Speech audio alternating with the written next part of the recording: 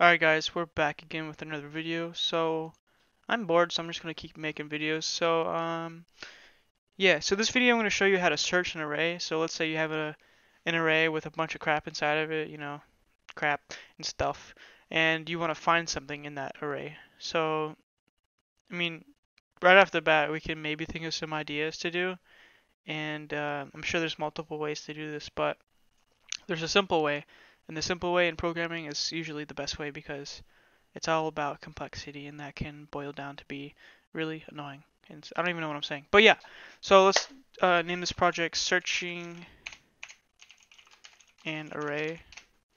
Okay, and then we're gonna, yeah, uh-huh, yep, okay, yep. And uh, so we can put some code here. So we're gonna create our array first. Obviously, we need an array to search an array. So int, um, we're gonna start with numbers. We're gonna do numbers and strings. So int um, number list blah blah blah equals um, what to call it, what to call it, what to call it. Oh, not call it, I mean what to give it. Um,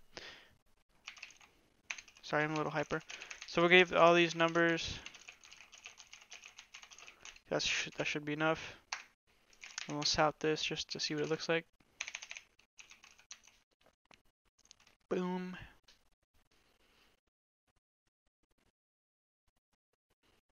Come on, buddy.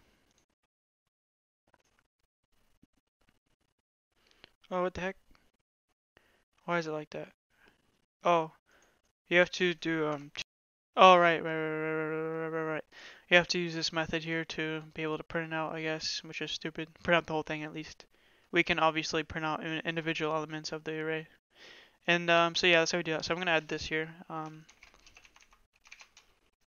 our array. There we go. So just check out how that looks.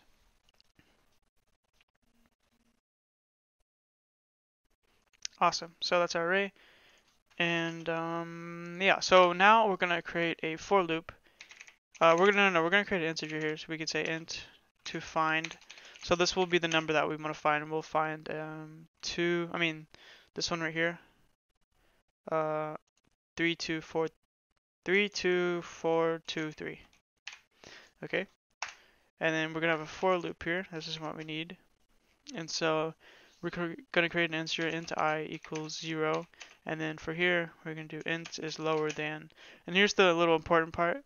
Um, we have a certain amount of elements in our array. And if we want it to happen automatically, I mean, of course, we can just do, let's count it 1, 2, 3, 4, 5, 6, 7, 8, 9. We could say i is less than 9. But if you want to do it, you know, in a more efficient way, we could do dot length like that. So that should work. And so we need to add i++, plus of course. So there we go. And then inside of here, as it checks each one, let's um, add a output here, checking, and then we'll put out the index here. Um, or no, we'll put out the element is checking. So checking, um, what's it called? Number list, and then put i like that. So let's go ahead and run that, see if it works. And it should run through all of them if it worked. Yeah, it does, cool. So it's to check all the elements, and then, uh, yeah.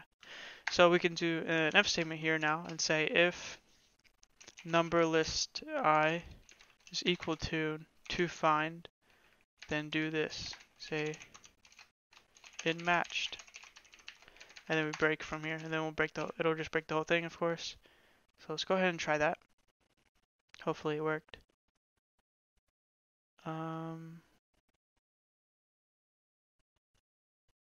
hmm. Oh, it did work. Okay. Yeah. So we chose like the second to last one. So like, or no. Did we? No, no, third to last one. So, I mean, that's why it looks like it did the whole thing. But let's choose like this one, the second one. It should only print out like the two, that one and that one, because it'll stop so if we change this number here, so 5, 3, 2, 5, and play that, or run it. I keep saying play, because it's a play button, but yeah. So yeah, we get it, so awesome, it works.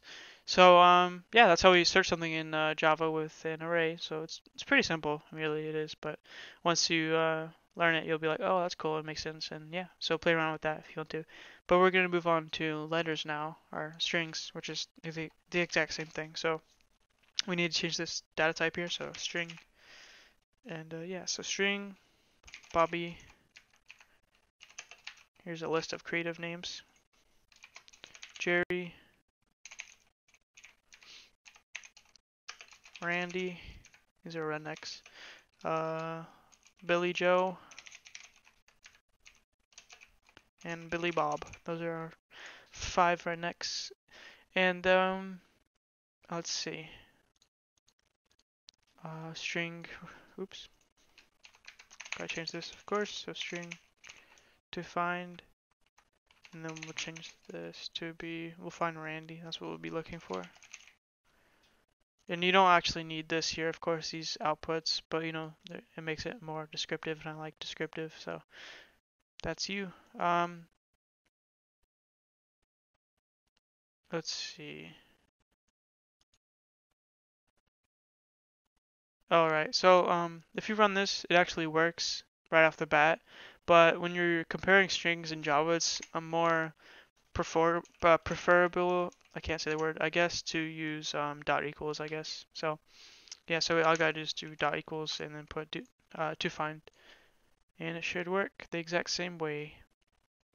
And it did. So, yep, that's how we search stuff with the uh, arrays in Java. I hope you liked it. If you liked it, leave a like.